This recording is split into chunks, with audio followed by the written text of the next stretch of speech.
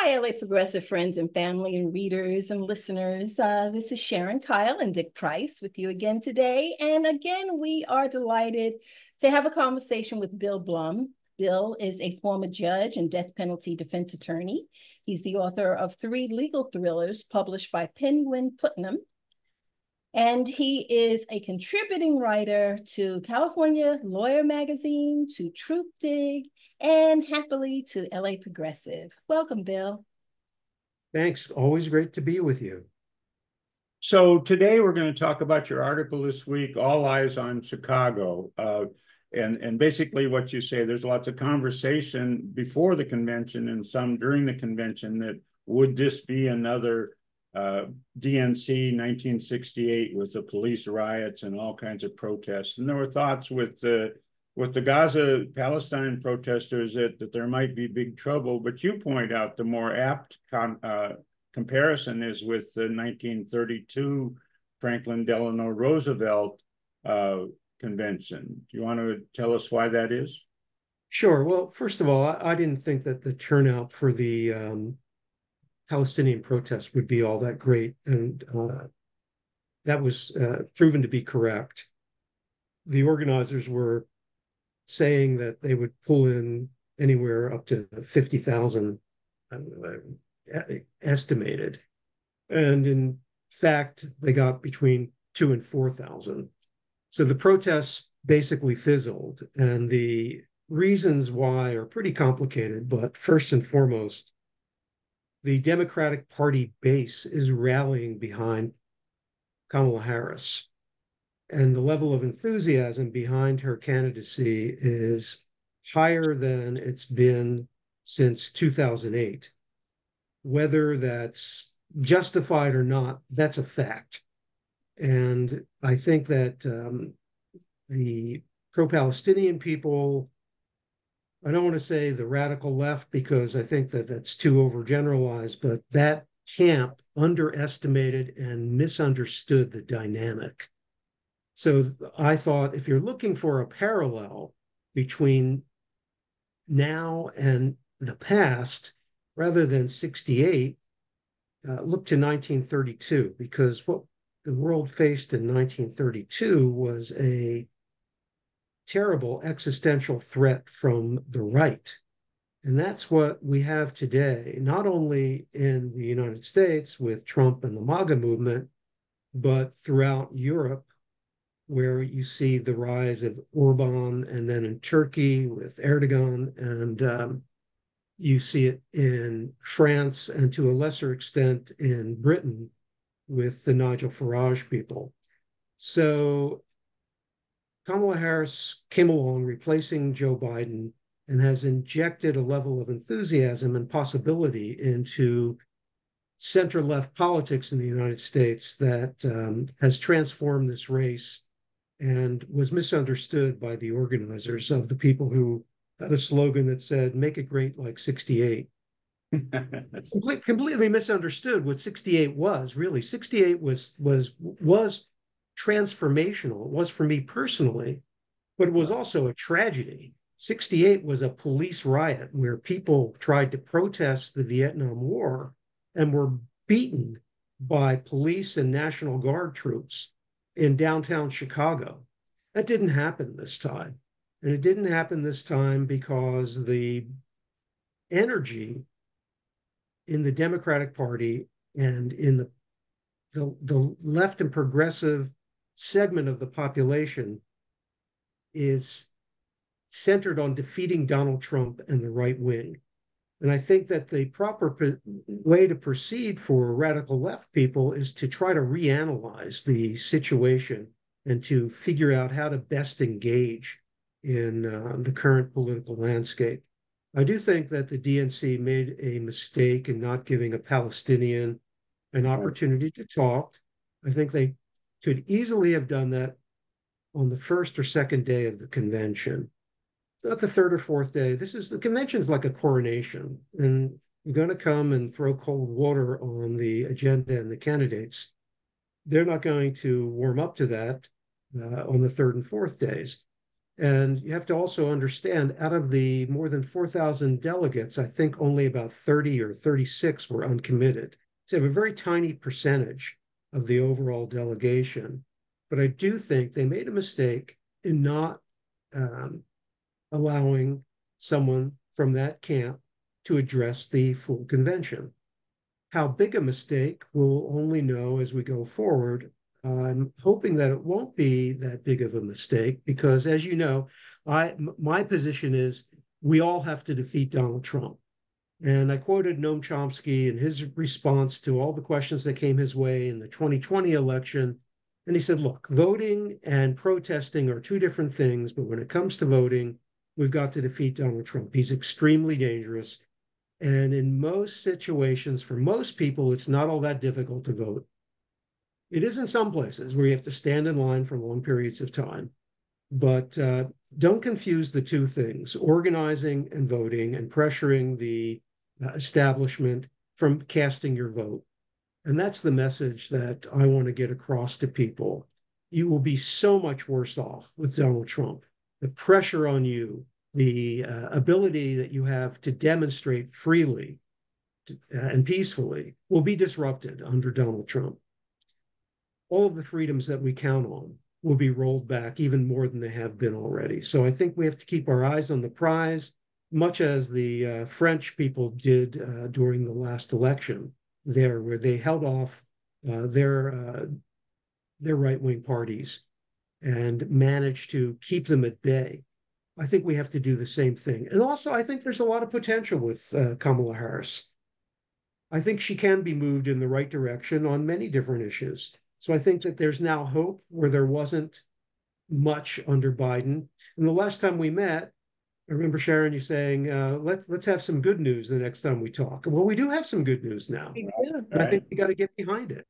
Absolutely, absolutely. And I'd like to say, um, uh, Kamala Harris candidacy does is is beneficial in so many ways. But one way is for the first time, Black women who really have been the engine of the Democratic Party for many decades they get to feel a greater sense of agency. You know, there are people that say, "Well, this is a new Kamala. We did we never saw her like that." Well, you don't really know who she is because the current systems that we have really muzzle us. Um, but this is giving us an opportunity to feel like, yes, we do have a place, and our place isn't always in the back room or you know in in the back of the bus, which is where we have always been. Yeah, I couldn't agree more. Uh, Black women have been the backbone of the Democratic Party for many years, and uh, Kamala Harris as vice president, you really didn't get to see her on her own, setting her own agenda and talking about issues on, on her own terms very much. Uh, in 2010, I think it was Karl Rove who referred to her as the female Obama. And he organized uh, funding for Steve Cooley. Remember the old LA district attorney? Who ran against her for the AG's office yeah. in California and uh, nearly defeated her. It was a very, very close race. And Rove saw her as having this tremendous potential and decided that it was important to nip her career in the bud. And thank goodness that he failed. Now we have a candidate that um, we can rally behind and work to elect. And I hope that people do that in overwhelming numbers because she's going to need a lot of support. There was a great poll out today from Fairleigh Dickinson University that has her with a seven point lead nationally. But that's just one poll. Yeah, it's a, it's a great poll. It's the best one yet. And we don't know whether it's an outlier. We don't know um, whether it's the convention bounce, whether it will hold. So there's a lot of work ahead. And you know that, that's what people said at the convention but they were right. There there's tremendous amount of heavy lifting that has yet to be done. I think she's going to do very very well in the debate against donald trump. I think donald trump is spiraling. I think we're seeing him um, decompensate on a personal level uh, to use a trump phrase like never before. And, uh, I, I, I think she's in, in a position to to win this and it's possible that this could turn into a Democratic rout. I don't want to go that way yet, but there's a great deal of potential here. So I want people on the one hand to get behind her, and on the other hand to understand that your issues are still your issues, protesting still important, and the the two overlap, but they're complementary. That's the overall thrust of what I had to say in that column. So, so I had I had four kind of four quick tent poles. Uh, I think I said the last time we were together, as we were coming up to this convention, and and Joe Biden was going to be nominated. I had a great weight on my shoulders. I was convinced he would lose, and he would take both houses of Congress and state state legislators behind. And when it came out, we were watching TV here, and it said Joe Biden has dropped out, and he's tabbed uh, Kamala Harris, and I broke down in tears. Not really because I'm a big, big, big, big fan of Kamala Harris, but I, but as I said, I thought we were dead in the water otherwise. The second tent pole is is is Tim Walz. Uh, my dad came from a small town near Mankato, was a lifelong teacher, spent 30 years in the reserve as a reserve uh, colonel. He coached uh, my my brothers and I little pee wee uh, football he reminded me a lot of, of, of Tim Walz. And, and, and I thought Tim Walz was an utter breath of fresh air. He, you know, he was a Minnesota guy. Uh, the third one is I, I thought Kamala Harris's speech, I don't think it could have been better done. I don't think it could have been better delivered. The fourth one, though, as you point out, uh, we slipped around Gaza. And this talk about a six week ceasefire, well, come on, that isn't what's needed. A real lasting solution is needed. Uh, and I guess the fifth tent pole is a lot of people say, well, they don't know Kamala Harris very well. And that's good in the sense that she's not dug in on a lot of positions. She's been in various offices, but you can't say she's, except for maybe women's rights and abortion rights, she's not, she, she, I, I do think she can be moved uh, if if we progressives get behind and push her. I agree with all that, yeah. Yeah, yeah. And you know, I think that what's happening here and why I feel so optimistic is that it has opened uh, windows of opportunity for people who would not normally be involved. Young people, people of color. They, there's a degree of enthusiasm that I've never seen before. But what I'm hoping is that it will click for them that democracy is really about them. So whatever positions that we'd like for her to take, well, damn it, we need to make that known. Right. Um, and that's why it's so important to understand that we have parallel paths here. We can engage in conventional electoral politics while at the same time, as you've been saying, Bill, we can continue to protest. We can continue to voice our discontent when things don't go the way that we think that they should go. That is in no way should should that be interpreted as being um, in opposition to Kamala Harris or the Harris administration. Should we eventually have a Harris administration, we have got to maintain our engagement in in civics. That's absolutely true. That's that's the central message. Mm-hmm. I think that um, every vote counts now, especially in the swing states. And that's where most of the energy is going to be. Uh, it's not going to be out here in California as much, where, where she polling at 65% or, or better. Uh, it's going to be in Pennsylvania. That's going to be a key. North Carolina, Arizona, Georgia. There's going to be voter suppression, particularly in Georgia, with uh, all with the new law that gives local precincts uh, the authority to contest uh, reasonable uh, doubts about the integrity of the ballots uh, that are cast within their jurisdictions. That's a really dangerous uh, new set of laws. And Marc Elias and other election law attorneys are busy trying to um, oppose those laws. And I hope that they succeed. So I, but but I do think that blue wall of Wisconsin, Michigan, and Pennsylvania are still going to be key. Pennsylvania in particular, and that's where the um, issue of should she have selected Walz, who I think is a great candidate, or Shapiro, who's very popular in Pennsylvania. And then the idea was, uh, is he going to um, be a drag on the ticket elsewhere? And will he be incompatible with her as a vice president? Because Josh Shapiro is not used to being second banana any place, whereas Tim Walz seems to be extremely comfortable in that role. So I think they made the right decision to go with Tim Walz.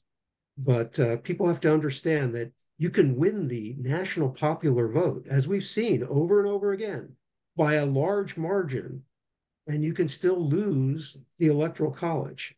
So these swing state battles are going to be the key, and people can engage in conventional electoral politics by working on phone banks and, uh, and other capacities. Even if you're in California, you can help out in other states. You can make calls to Arizona, Nevada is another one.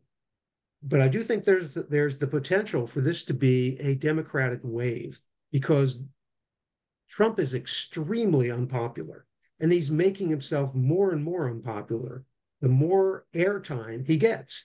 He's sounding crazier and crazier, not just more dangerous, but he's sounding unhinged. Yeah. People are seeing that. And she's not. She's the opposite of that. And I think she's doing a fabulous job so far. Another thing that she's being pressured to do is to do some news conferences, and I'm sure she will do some of those. I don't know if it'll be before the debate or after the debate, but I think she will. And I think she'll do extremely well in those settings. She's not Joe Biden. She's the opposite of Joe. Right. She is. Yeah, it's been a, just a remarkable month. You you could hardly say that the the good luck could not have been better, but also the uh, Harris campaign and her, her have, have not taken a misstep so far. So I, I think we have to pray that she doesn't. I mean, people are all all excited about the debate, but but you know, Trump is good, a good manipulator. He's not a good debater, but he's a thug and an intimidator. Remember him stalking Hillary around the stage? And you know, so I'm hoping that uh, well, I assume that that, that it, it appears that uh, Kamala Harris prepares well for everything. So I'm I hoping have a very strong sense that that kind of bully is just what she's waiting. I really do. I think she's going to do really well. Mm-hmm. Really, really well in the debate. I'm not at all worried about it. Uh, really not. Yeah. Okay, well, do we have much more to talk about? This is a good, this is a time to to feel good and look forward to the future and look forward to September 10th, I think is the, the date of the That's right. Labor Day weekend's coming up. I think people can feel good and uh, get involved, and the energy is high. And I think we on the left need to understand that, get behind yeah. it.